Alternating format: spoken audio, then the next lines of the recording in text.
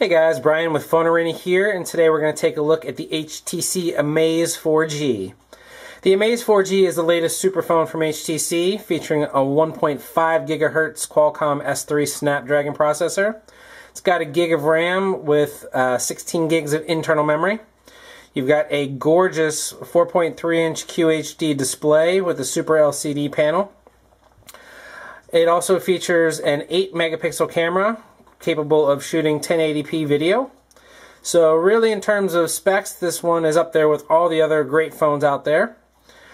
In terms of design, it's a pretty interesting phone. It's very heavy. Um, we're used to HTC top-end devices being heavy, but for some reason this feels a little bit heavier than past phones like the Evo, even though it's about the same. One of the uh, strange things that we've seen before is the battery door. Let's go ahead and get this off. It's actually all the sides and everything as well. So as you can see the phone we're left with basically just the display here. A little trim ring down there but everything's pretty much integrated right into the the back door including the antennas and there's also an NFC chip in here for near, near field communication. So it's kind of nice because if you scratch something up you can simply replace the battery door as opposed to replacing the phone unless of course what you scratch is the display itself, but it's a pretty scratch resistant glass, so that's nice. In terms of performance, everything is lightning quick on this phone, as we would expect. This is the fastest HTC phone out there. We also have Sense 3.0, which is something we've seen before on devices like the Evo and the Sensation, so excuse us, the Evo 3D and the Sensation. So nothing new here to report, but it is blazingly fast. We really like this. This is our definitely our favorite Android overlay. So if you're not going to go with stock Android, then this is definitely a good option. On the side here, you can see we have two dedicated keys down at the bottom. The silver one down below is the camera key, and the little button that looks like a record button is in fact a record button, so it's a dedicated camcorder key.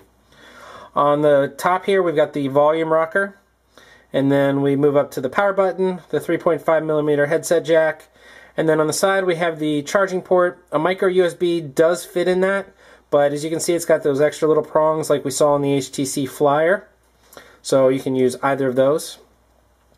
Down at the bottom we've got our four capacitive Android keys, nothing too spectacular here.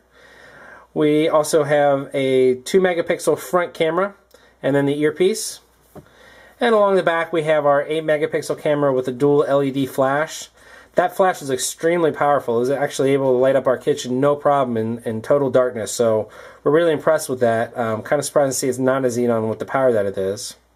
And then also we have the phone single speaker. So all in all, it's a really good design. That's something we're very much used to from HTC. So it's just another example of how HTC is one of the leaders out there in hardware technology.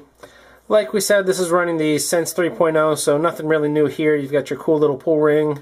You can, you know, go straight into the phone or whatever you set up these for to do for your um, direct access.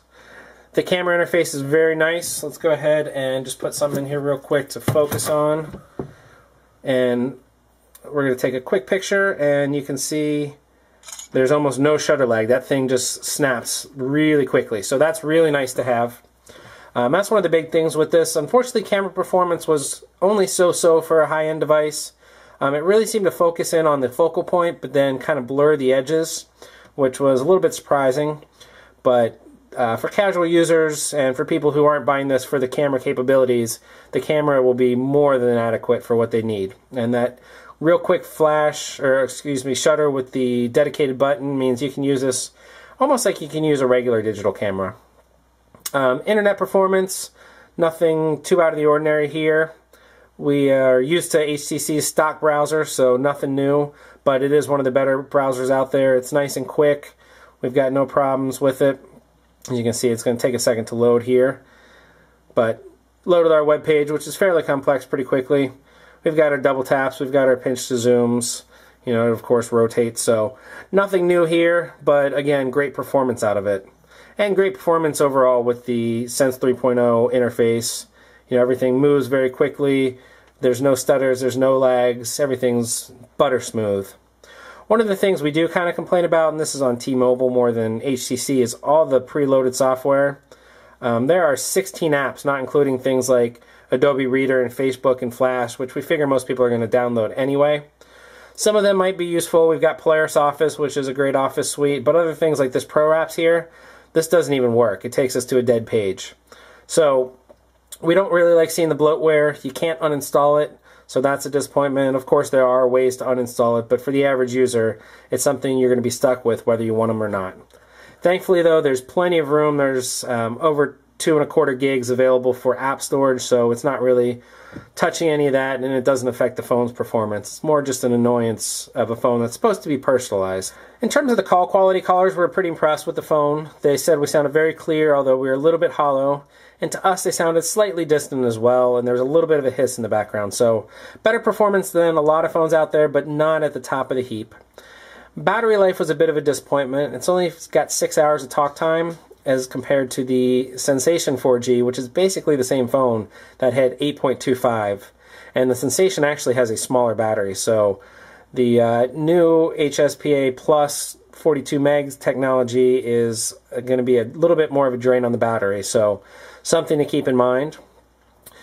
While we're talking about the Sensation, that's one of the, the issues we have with the Amaze 4G. It's a great device. If the Sensation wasn't out there, this would be fantastic. However, the Sensation is out there. It only came out a few months ago. Yeah, it's only got a 1.2 megahertz processor. Yeah, it only has 768 megs of RAM instead of 1 gig. But overall, these two devices are very, very similar. There's not a lot to set them apart. And for those who already have a Sensation, hang on to your Sensation. There's no real reason to upgrade to the Amaze. If you're looking to buy a new phone, the Amaze is a great phone. There's no doubt about that. It launched side by side next to the Galaxy S2 and that phone is one of the super phones out there, and this one stands with it toe to toe for sure. So if you like the phone, it's a great phone. We're not going to say don't go out and buy it. If you're looking to upgrade from the or excuse us from the Sensation, probably hold off until something better comes out, like for say an ice cream sandwich phone. But overall build quality is great. We like the feel. It's a little bit big and a little bit heavy and a little bit portly, but we're kind of used to that with these new HTC phones because of how high quality the material and the workmanship is. So all in all, we really like the phone. If you have a sensation, probably hang on to it, but otherwise, it's definitely something to check out.